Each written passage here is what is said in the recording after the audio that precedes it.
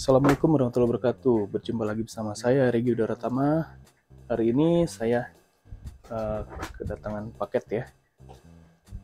Ini sebenarnya saya sudah ya lama menginginkan ini. Uh, paket ini adalah uh, efek bass ya. Ya uh, efek bass yang murah ini ya. Harganya ya sekitar 300 ribuan ya saya beli itu kalau nggak salah 336 ribu. Ya ini adalah uh, ya yang lagi viral ya. Itu dari M ya, kita unboxing dulu ya. Ya ini uh, saya dapatkan di promo 55 ya. Promosi 55 ya di sini ya made in China ya. Yang lagi, lagi viral ini. Ya walaupun harganya murah tapi uh, bisa menghasilkan banyak suara ya. Nah ini dia, Cube Baby Bass namanya dari M Fave. Uh menarik ya, menarik bungkusnya. Cube Baby Bass. Ini ada bagian kiri kanannya. Solid Authority Limited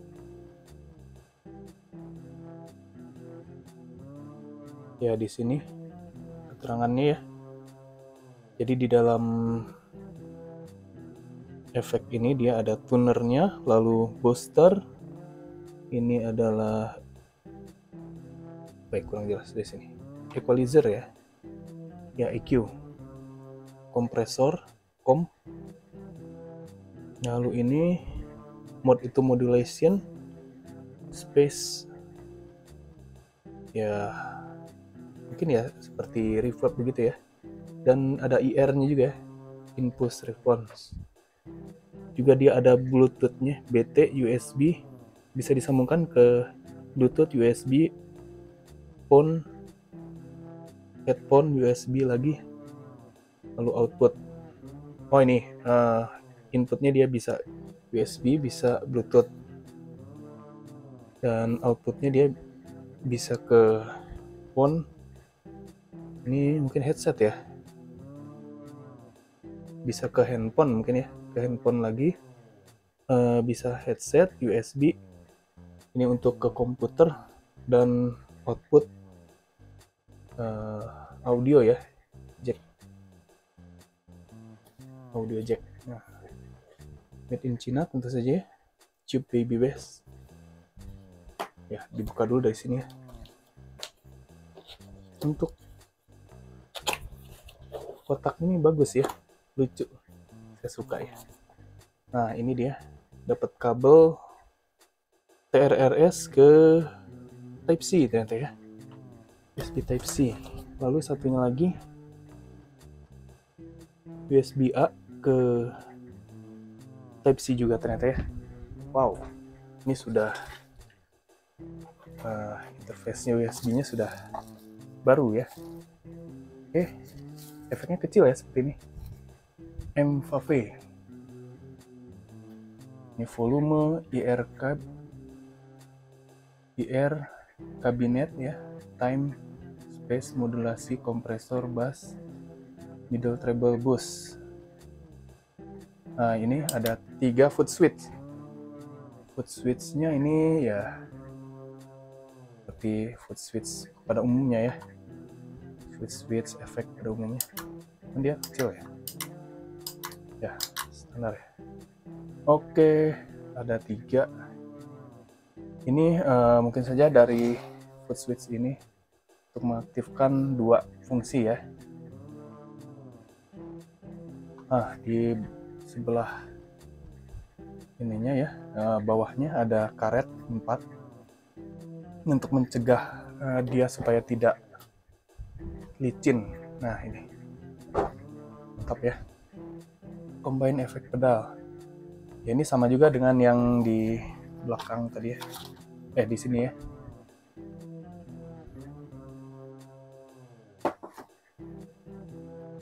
Untuk inputnya nah ini ada jack 6,5 mm. Input dan outputnya jack juga ya ada output untuk ke headphone lalu ini ke handphone ya handphone headphones head, handphone ke HP lalu USB lagi. Nah ini saya kurang tahu ya apakah ini dipisah antara USB untuk ngecas atau ini ya uh, data? Ini oh ini ada switch ya on off.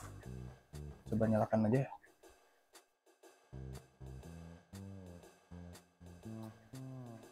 Wow ternyata dia ada baterainya lah ternyata dia ada baterainya. Wow. Baru tahu ya kalau ada baterai. Lalu kedip-kedip ini ini mungkin menandakan bluetoothnya nyala ya ear cap ya kalau ditekan nih nyala dan mati ya. Jadi ini volume uh, master volumenya ya. Space modulasi.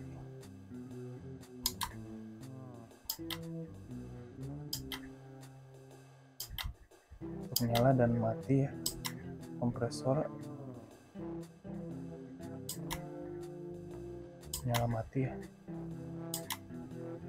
oh jadi nih kalau hold untuk bluetooth ya. Dua ya. Ya dua kali ya kalau dua ini. Ya bluetoothnya mati ya. Cukup unik juga ya. Hold tuner. Nah ini. Kalau dua uh, foot switch B dan C ditahan ya ini akan mengaktifkan tuner Nah, udah ya. Tekan lagi untuk uh, mematikannya. Ya, uh, apalagi yang ada di kotak ini. Kita lihat ya. Oh, ada user manual. Nah, ini penting sekali ya. Petunjuknya semua jelas di sini ya booster knob, EQ editor, treble knob, mid bass.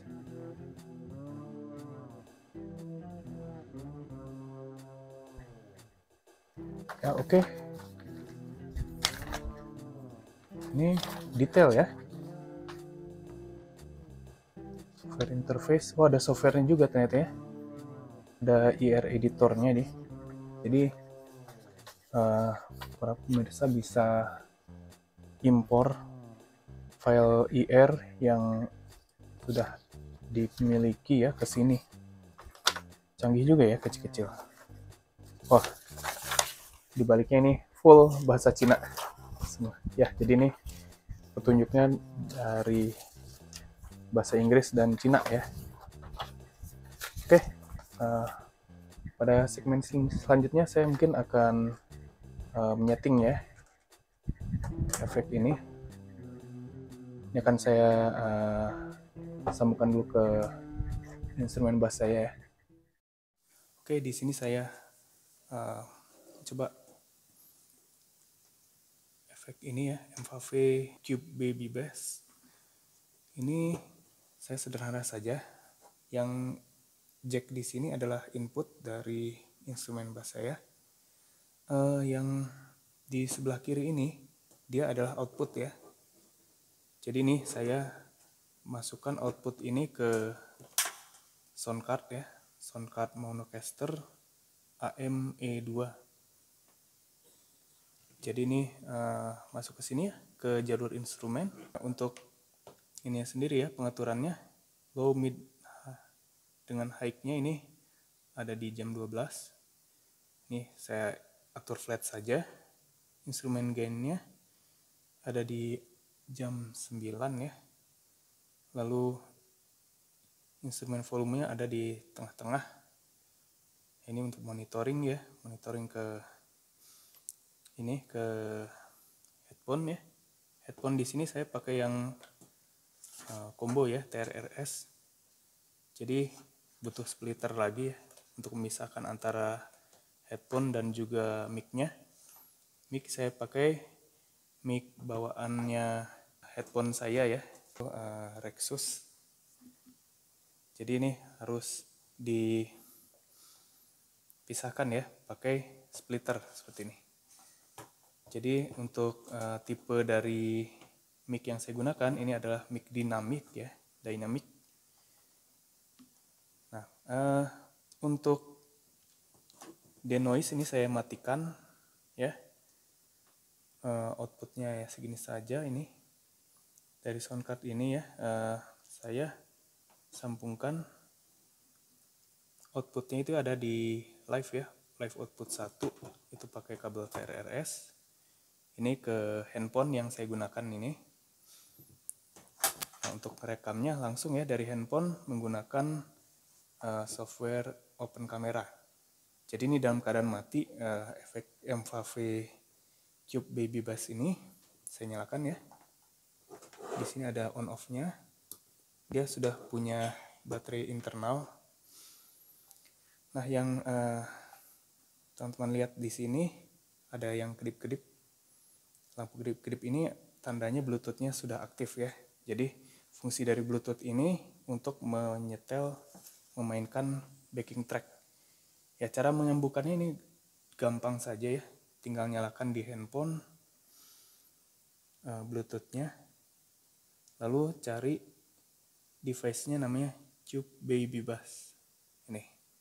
ini tinggal dipasangkan saja. Nah, kalau sudah, dia sudah terkonek ya di sini ya, terhubung. Kita bisa uh, langsung memutar backing track Nah, seperti ini. Ini video klip band saya ya.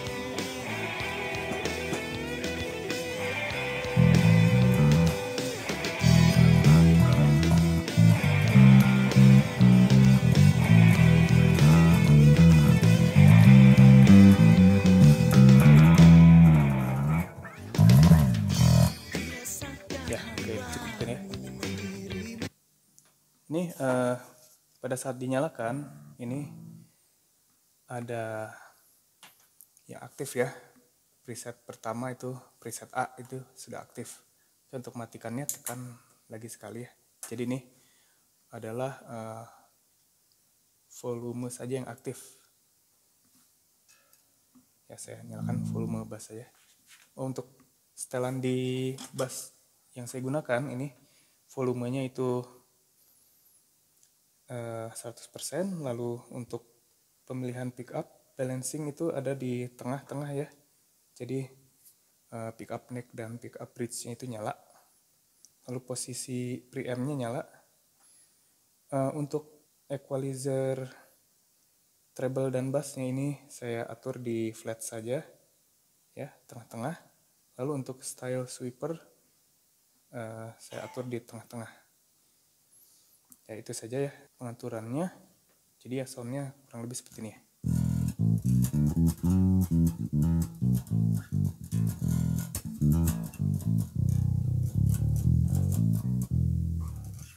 Ya mainkan slide.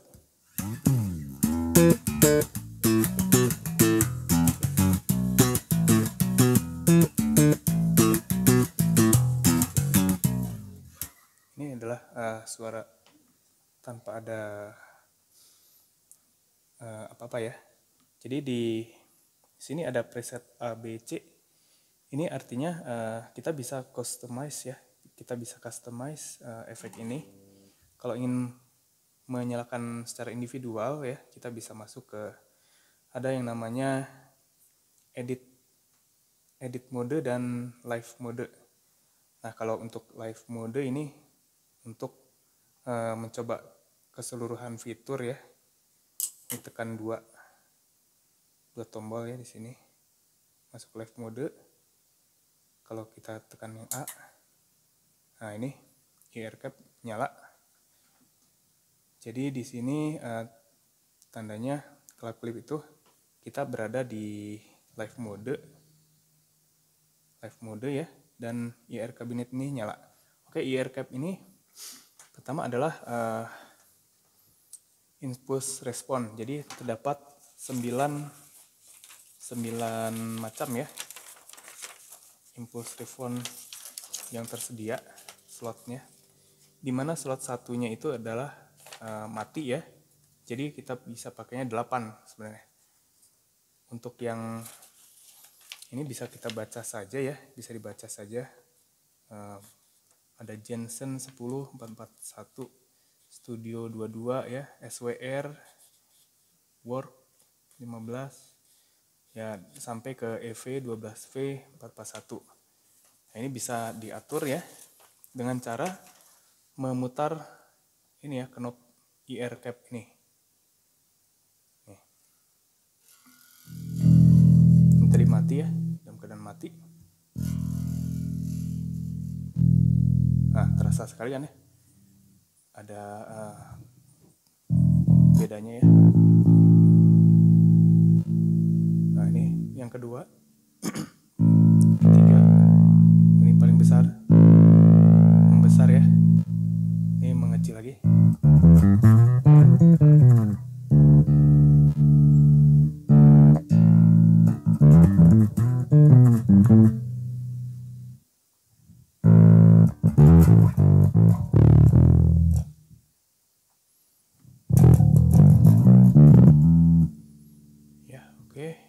terakhir ear cap yang terakhir.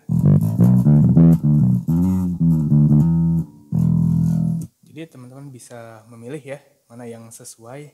Kalau saya uh, mungkin lebih cocoknya yang SWR ya. Tadi SWR itu di nomor 4 ya. 1, 2, 3, 4 ini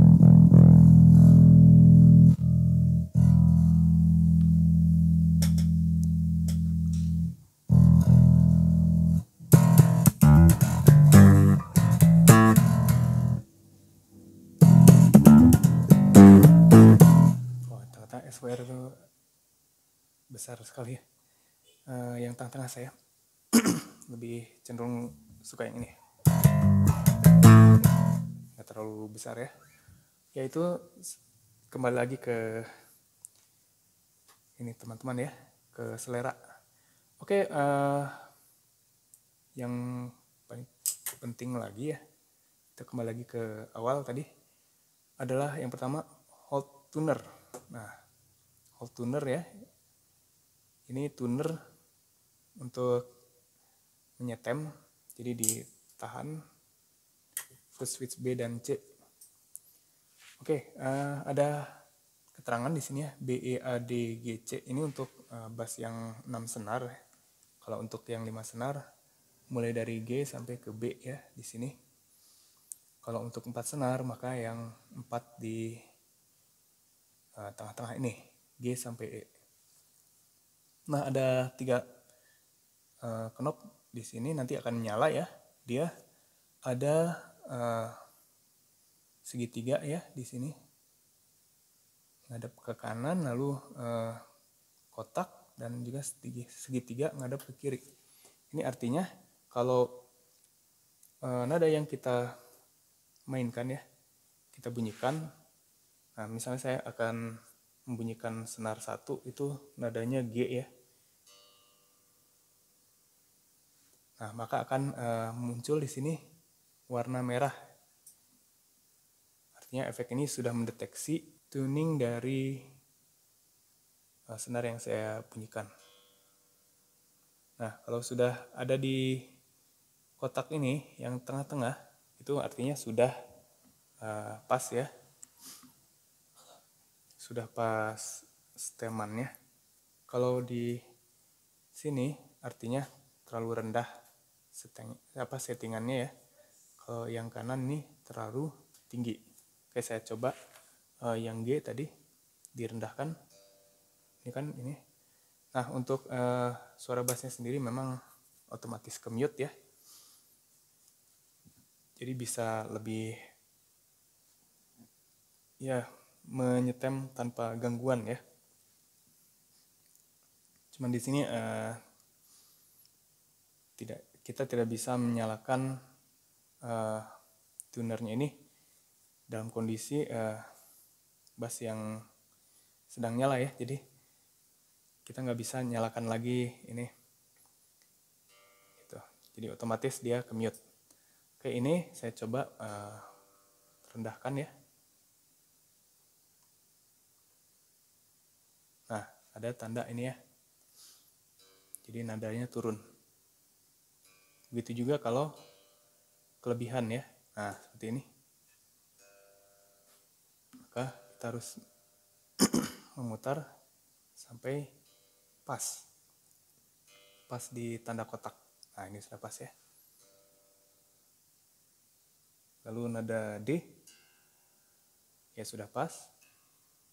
Nada A sudah pas ya jadi ini uh, beda-beda ini warnanya tadi merah yang D itu untuk ini warnanya biru A itu biru E biru dan B juga biru ya. Ya, udah mungkin ya. Jadi tekan bebas ya preset apa saja untuk mematikan tuner. Misalnya saya tekan A. Nah ini kembali lagi ke bass soundnya nyala lagi. Oke, uh, itu tadi kita mulai dari yang pertama ya, IR cap tadi tekan ini. Ini sebenarnya uh, mengaktifkan preset ya preset yang sudah di setting sebelumnya ini saya sebelumnya sudah menyeting untuk preset A itu dia hanya menyalakan IR cap saja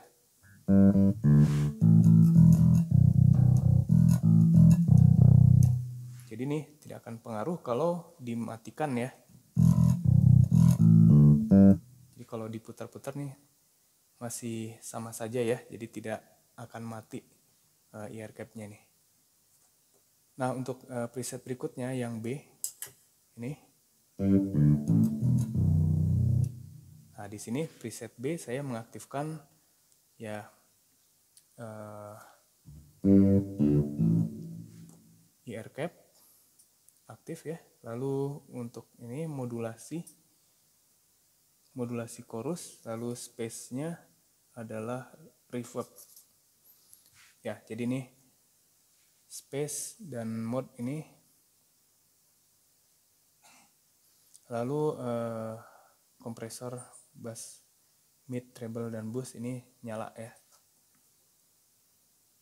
jadi tanpa menekan ini oke untuk yang preset ketiga C nah saya mengaktifkan uh, kompresor sama booster EQ. Lalu uh, untuk space-nya saya aktifkan pacer ya kalau nggak salah ya. Eh bukan, uh, delay.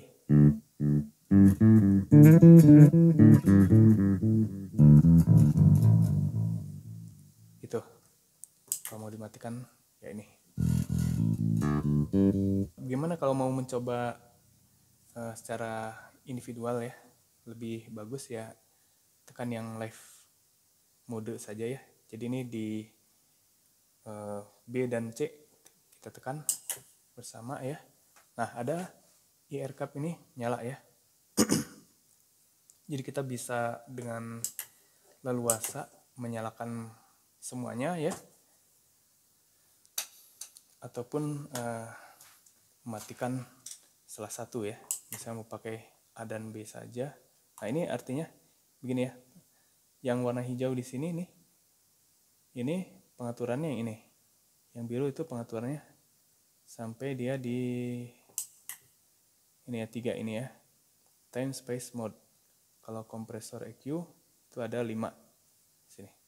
Jadi ini uh, memudahkan ya. Tinggal lihat warnanya saja. Oke uh, untuk tadi IR cap sudah ya. Uh, kompresor equalizer. Nah ini ditekan uh, switch switch foot switch yang C maka akan mengaktifkan kompresor bass mid treble dan boost nah fungsinya untuk apa? Kompresor itu. Jadi kompresor itu fungsinya untuk menyeimbangkan uh, permainan kita ya. Kalau misalnya petikannya itu terlalu kecil ya maka akan dinaikkan. Begitu juga kalau uh, kita memetik senarnya terlalu keras ya, maka yang terjadi kan uh, volume itu akan peak ya, atau uh, terlalu tinggi, maka akan diturunkan uh, oleh kompresor ini. Ya tergantung kita dalam menyetel uh, thresholdnya mau berapa ya. Oke, uh, untuk bass mid treble ini adalah pengaturan EQ, equalizer ya. Ini saya matikan dulu kompresor. Nah kalau ini mati ya kompresornya. Semakin ke kanan nih semakin besar. Thresholdnya semakin besar. Ya untuk yang bass semakin ke kiri dia bassnya hilang. Ini saya akan matikan dulu semua. Semakin ke kanan itu uh, frekuensi bassnya akan semakin tinggi. Mid itu untuk frekuensi middle ya.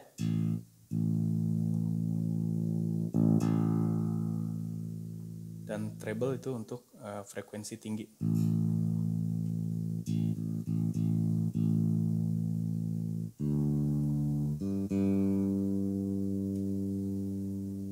Ya, jadi kalau diaktifkan semua akan seperti ini. Nah, satu lagi itu uh, yang boost. Boost ini adalah gainnya ya. Uh, bisa kita bedakan ya antara volume dan gain. Kalau volume itu kita putar ke sini akan uh, mati ya. Sedangkan kalau gain uh, kita putar ke kiri di mentok kiri ya, dia akan mati. Tapi ya tidak akan mempengaruhi ya volume ya. Ya akan uh, dia membantu volume ya.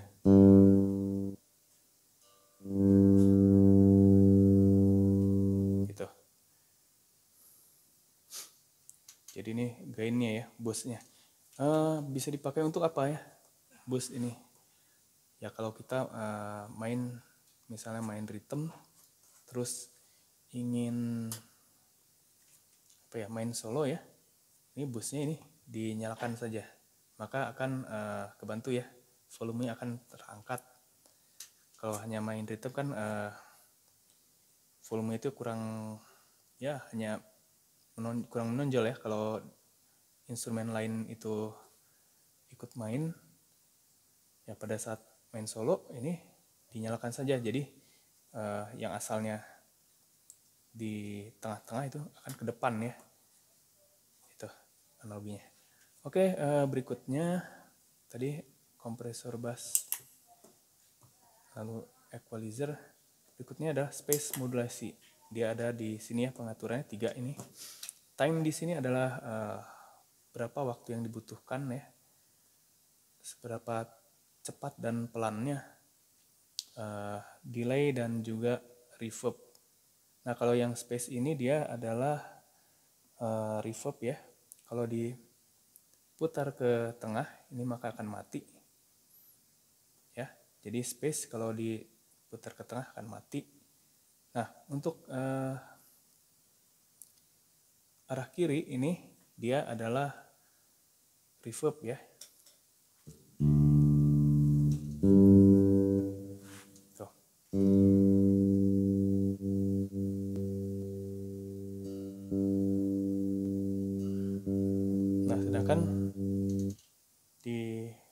kanan jadi berfungsi sebagai delay.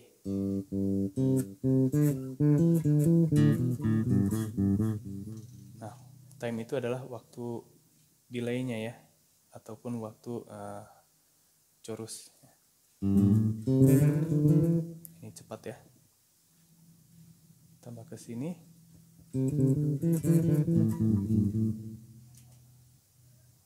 Ya, tambah di rata kanan ya jadi semakin lambat ya. Semakin tinggi nilai uh, timenya pada delay dia akan semakin lambat. Oke kalau untuk reverb tadi ini gemaknya ya.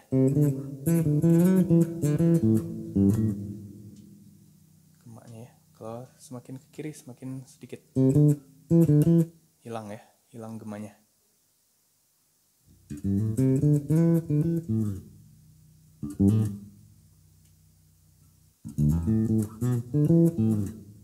Ya itu. Itu untuk uh, reverb dan delay ya. Oke berikutnya modulasi ini adalah chorus.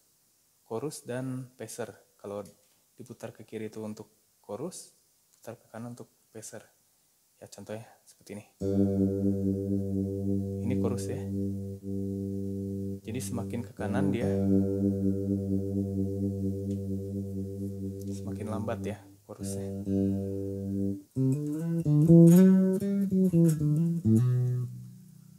oke semakin diputar ke kiri.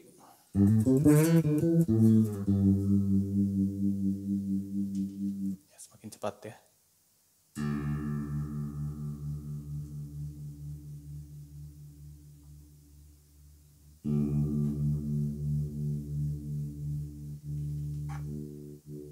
Oh ya untuk uh, di modulasi ini sendiri, jadi dia timenya tidak aktif ya. Jadi time di sini untuk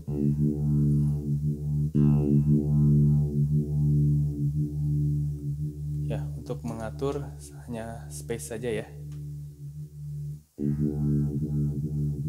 Ini pacer lebih cepat, paling cepat ya.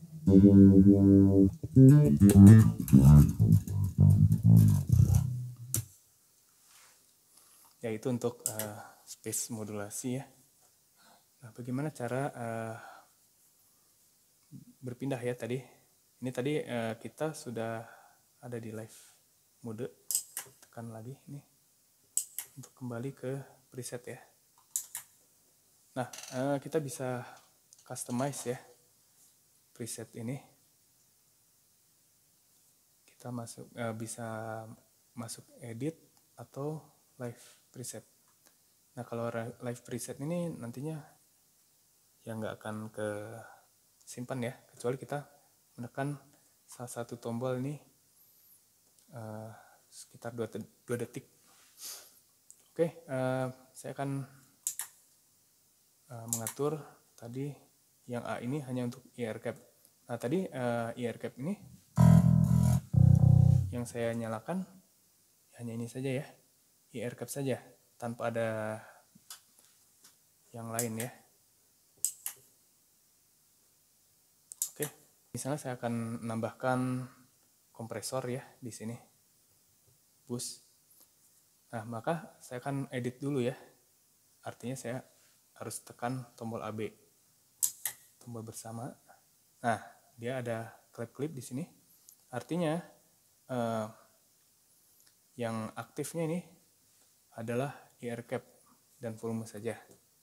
Oke, kalau mau menambahkan kompresor, tekan foot switch yang C. Ini dia berkedip ya, otomatis aktif. Kita tinggal uh, lakukan penyesuaian saja ya. Misalnya busnya mau ditambah, kalau sudah selesai atau misalnya uh, bassnya mau dikurangi treble-nya ditambah. Nah itu ya. Kompresornya sedikit saja.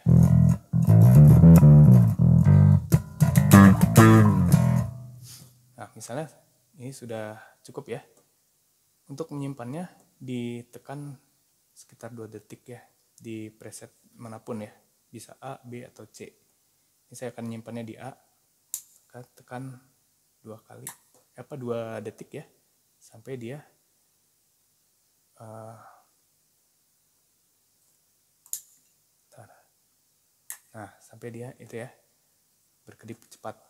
Nah untuk kembali lagi ke preset tekan AB nah ini saya matikan dulu presetnya yang A. Saya aktifkan B lalu ke A. Nah jadi nih busnya sudah aktif ya. Bus kompresor sudah aktif. Jadi walaupun uh, kita rubah-rubah ini tidak akan tidak akan uh, berpengaruh ya